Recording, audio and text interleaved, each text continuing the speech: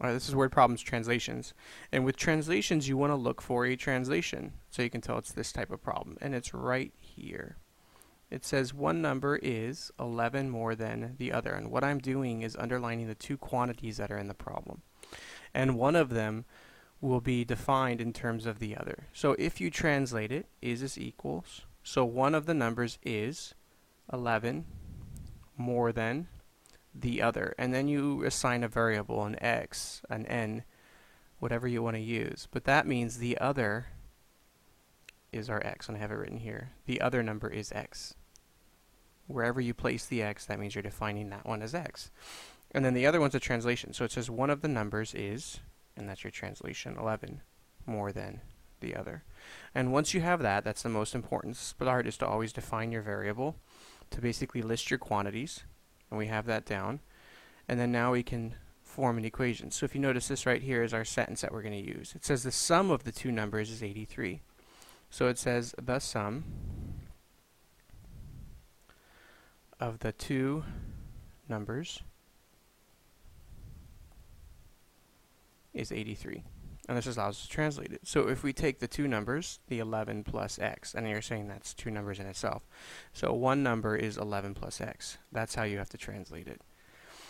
Plus the other one, which is x. Those two have to add up to 83 because it says the sum of the two numbers is 83. And then that's our equation. So we can then remove the parentheses because there's nothing to distribute and solve. So combine like terms, isolate the x's, and then divide.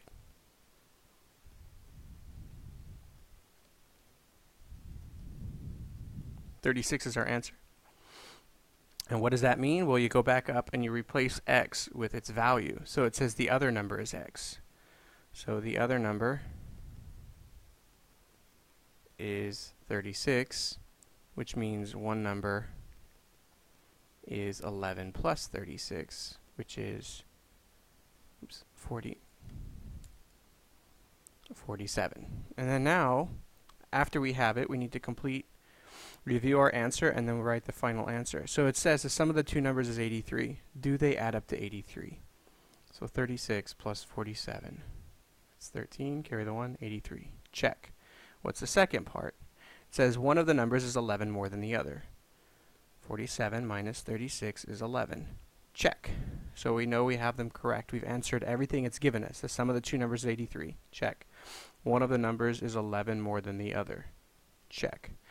Now we have to write the answers. So we're going to write our final answer. The two numbers are 36 and 47. That's a translation problem. So in each one there's going to be some little thing that you can translate to write one of the quantities in terms of the other and then allow you to find some relationship between the quantities. Okay, so let's try another one. The width of a rectangular garden is one-third its length. There's our translation. So it's saying the width of the rectangular garden, that's one quantity, and then the length. We also have the perimeter. So we'll be using that later. So it says the width of the, so we're talking about this one, is one third its length. And so letter we would want to use is L for length. So the width of the rectangular garden is one third L. And the length is L because that's where we place the L. Wherever you place it, that's where we have to define that variable as. Alright, now we need to find the relationship between the quantities, and we're going to use a picture to write that. So if you have a rectangle, we know that that's L, because that's our length, and that's one-third L and one-third L. Now perimeter is the outside of this shape.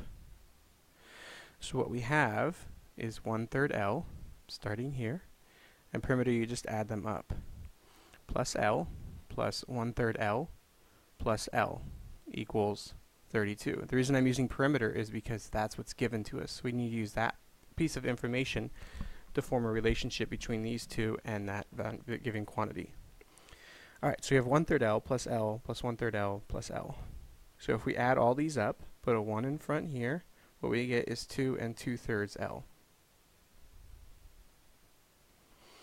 And then we can use um, our conversion from converting a mixed number to an improper. So 3 times 2 is 6. 6 plus 2 is 8.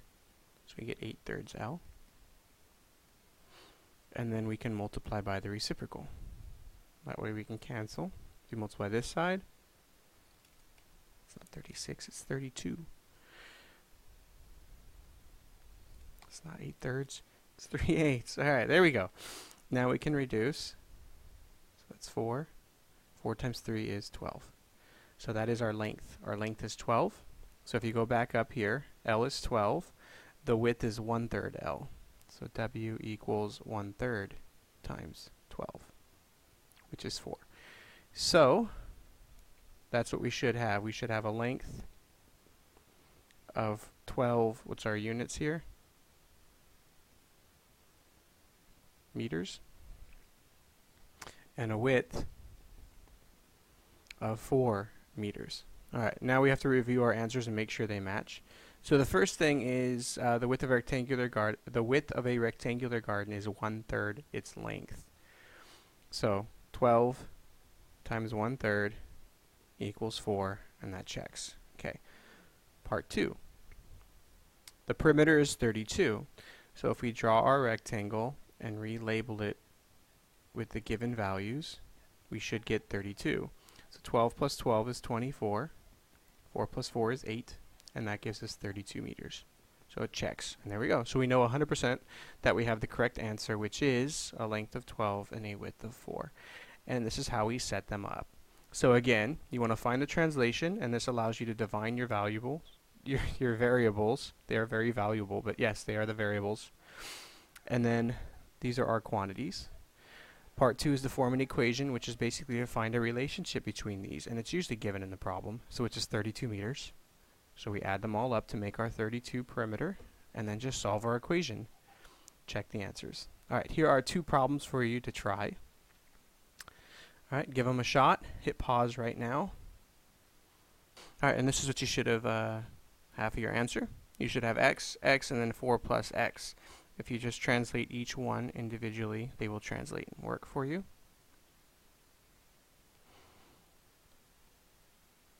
And if you notice, I checked my answers. Alright, give number 4 a shot. Hit pause and try it. Alright, and this is the answer you should have received for that one. So, just translating it, it says the agent's commission on one home, that's one quantity. Second home equals one third of x. Since we assign the x here, we place it for the second home. And then one third x goes for the first home. And then the relationship between the two is they have to add up to 6,000. There's your equation. Solving it gives us 4,500. Plugging it back in gives us 1,500. And then checking it all works out. And that's it. Thank you.